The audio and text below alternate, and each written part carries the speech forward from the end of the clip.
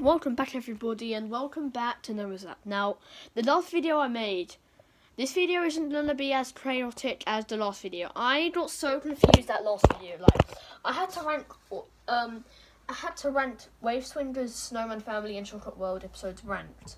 And I just couldn't do it because I was so worn out by going through all those episodes. So, this time, I'm going to be doing why Chocolate World is mainly for children under eight. Here, that's why. I mean, um, seven. Here's why.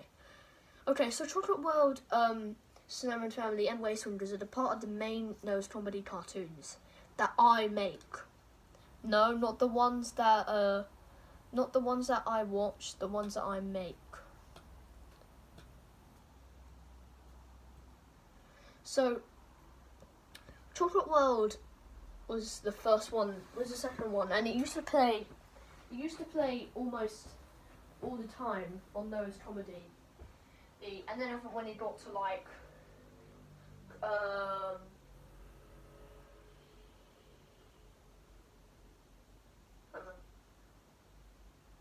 wait, what time is it? I'm just trying to think. Uh, when it got to six o'clock, I mean seven o'clock, they started playing it it all night.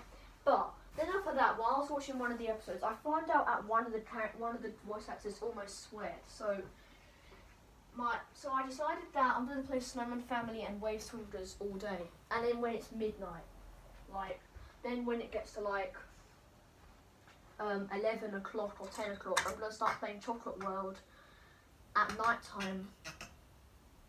That's my plan. And I'm also going to be playing Nicholas,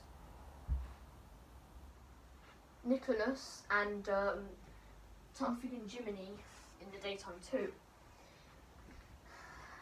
And it's and Chocolate World is going to be playing all night, but Noah's Comedy channel stops at 12 o'clock. So after they've played, after when it reaches 12 o'clock, the, the, channel stops and then the channel starts again at 5 a.m. and then Chocolate World will play again.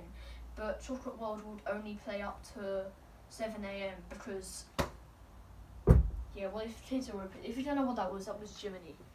So, yeah, thanks for watching and bye. And also, I will up the latest video onto YouTube.